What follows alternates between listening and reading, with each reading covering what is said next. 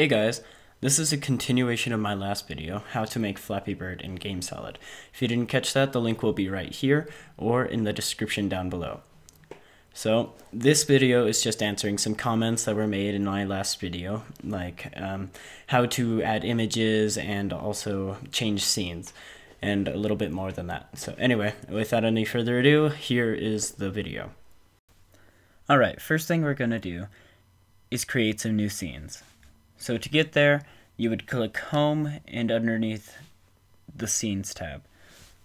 Anyway, so we want to add some scenes. So in the bottom left corner, there is a plus sign. Click that plus sign and call the scene Home. Add another scene called High Score. And another scene called Game Over. Okay. Click and drag the home so it's in front of the initial scene. So that is the first scene to load up. So double click on home.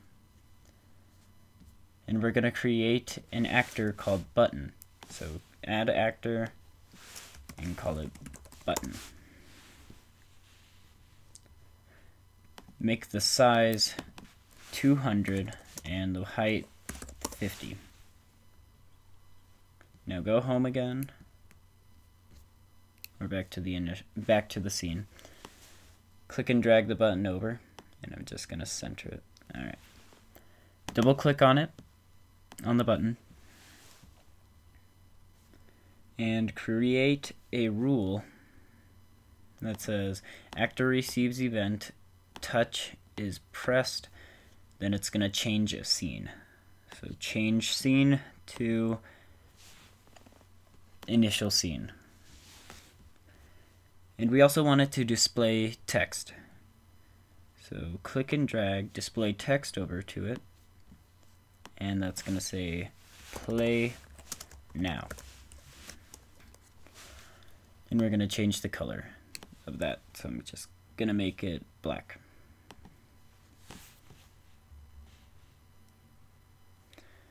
All right. Now go back to our scene and click and drag another button over. So double click on that button and drag in display text. This will be called high score. Set the font to black again. There you go. And then add a rule that says actor receives event, touch is pressed. Then it will change the scene to high score. Alright, now let's test this out. So play takes you to the play scene. Go back to our home button. You can do that by going to any by double clicking on any of the scenes in your bottom bar. And then high score. So it takes you to high score as you can see as it's highlighted in blue. Alright, now go back to our home scene And we also want to add some graphics. So let's just create, make the spawner there. And now, since we have everything in the spawner, we can, that would,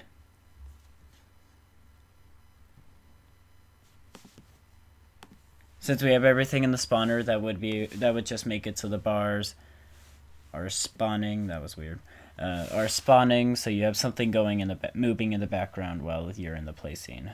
So there you have it. Bars are there, and you might encounter an error where the bars actually go in front of the text. So to fix that, go to our home scene again and send the spawner to back. Or if you have a background, just send it backward, anything. Alright, now we want to go to our high score. We're just going to create a back button for now. So display text, drag over display text, and just say back. And change the font to black because it looks better. Okay. And when you create a rule that says actor receives event, touch is pressed. Then we want to change a scene. So change scene to home.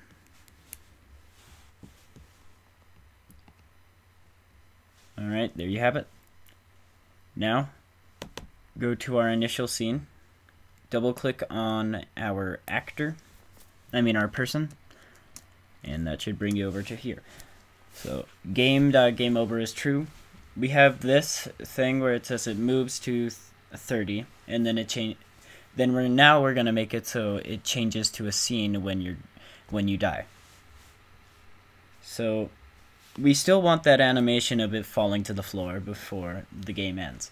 So let's say after uh, two seconds, we want to change the scene to game over. And now we also want to go to our game over scene so we have back button and play again. So add a button. This button will say, add it just below the center. This button will say back, so go in here. I'm sorry, it'll say play again, so go in here. Dis display text play again and make the text black and change scene to initial scene. All right. Now create a button that actually says back, so you just go back to the home screen. So display text.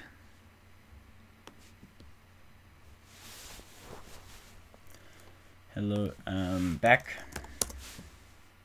Change the color to black. And rule, actor receives event, touch is pressed then change the scene to the initial scene. I'm sorry, to the home scene. And I think I made a mistake on this other button. I forgot to add the rule, so when it is pressed, it would work. Alright. Actor receives event, touch is pressed. Then you go to the scene. Alright, now we have a fully navigatable um, game. So play now, it takes you there, you die, and then you move over to the game over screen. So play again, it takes you back to that. Play again. Oh, I actually made a mistake. So, in our play again button, we need to actually change the attribute so it is game over is false now. So change attribute.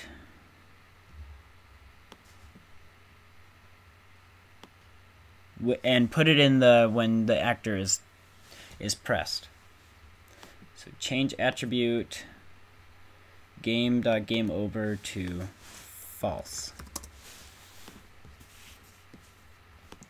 All right, now it should work properly. So you die, then you move over to the game over screen after two seconds. You press play again. Then it's a, it starts the whole game over again. You die. It, it just uh, it works. All right. High score back. Everything's now navigatable now. Now we need to go to our initial scene now, and now we're going to create the score. So we need to add an attribute that's called score. So in attribute type integer choose called a score. And right now we're actually going to create another attribute called high score. So high score. All right, go back to our actors, add an actor, and we will call this score. Double click on that actor. And this will say display text.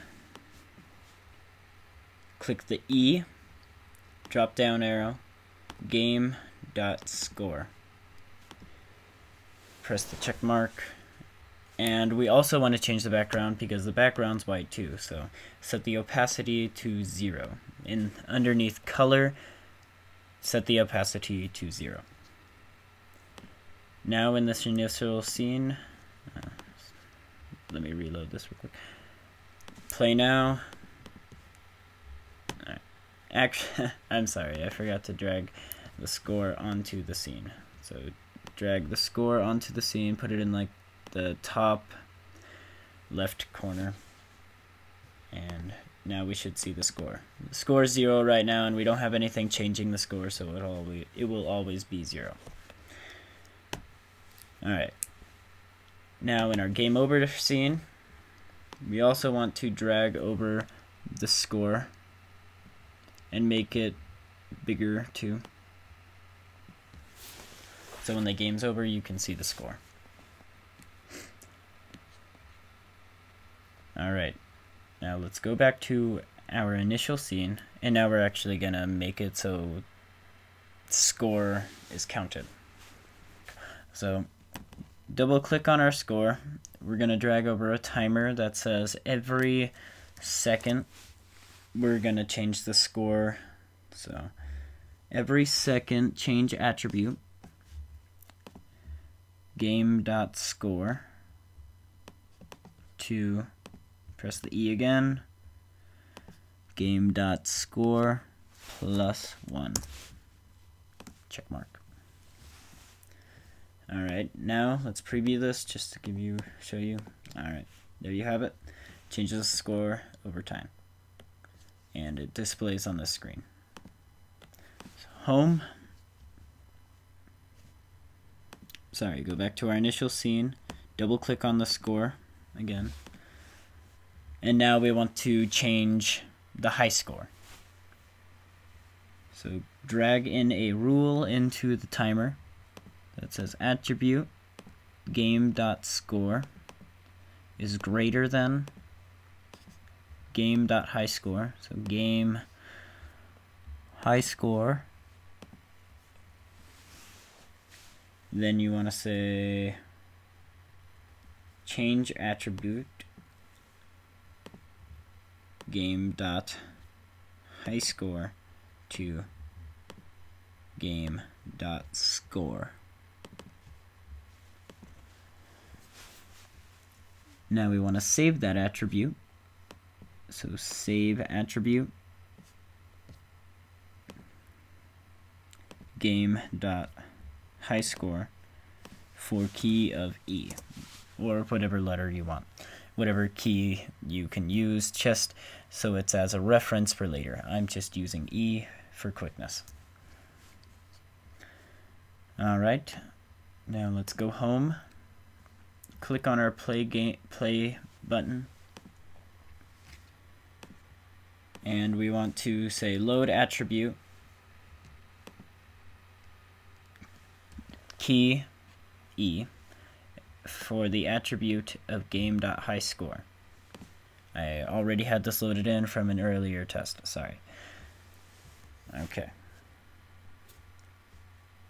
So now, just to test that, let's go to our game.highscore scene, create an actor called high score, double click on that,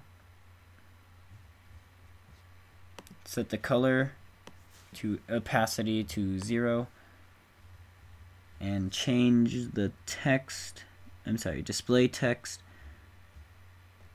So display text click the E drag it uh, game high score there you go. Go back to our high score scene. Now we need to drag the high score on there. So look at that. make it bigger. And preview. So it says it's zero because the high score is zero. Back, play now. Just gonna say three, die, and then say your score is six, go back. High score is now six. And when you reload it, that's just a thing that happens with uh, Game Salad. When you reload the game, it automatically resets everything. Alright, Game Salad crashed on me while I was trying to do something, so I'll just use this as a reminder to save often. Game Salad does not save automatically like some other programs. This one you have to automatically save everything. So make sure you do, or else if it crashes, everything will be lost. As you can see here, my whole tutorial is lost. But for the rest of this, I already did everything, so for the rest of this, I'm just gonna show you how to set and change an image. That's, that's it. So let's create a new actor. I'm gonna call this image just as a tutorial. Set the size to uh, 50, 300. Now, I already have some images in my project folder, but just to do that, you just find an image and then you click and drag it. Whoops. You click and drag that image over to the images folder. So right there, as you can see. Alright. It's as simple as that. Now, to change an actor's image, you can just click and drag that over there. Now if you want the image to change after something's done, you need to create a rule. So rule, drag that over, actor receives event, touch is outside. This will say change image to number two, which is just a flipped around version of what I had before. Alright home quickly show you this preview it now it flips to the thing so as you can see that's how you do it thank you guys for watching Anyway guys, if you like this tutorial, please subscribe down below, hit the like button. If you have any comments or questions, leave them down in the comment section down below. Um, check out my website, check me out on Twitter. Um, that's pretty much it. Thank you guys for watching. Bye.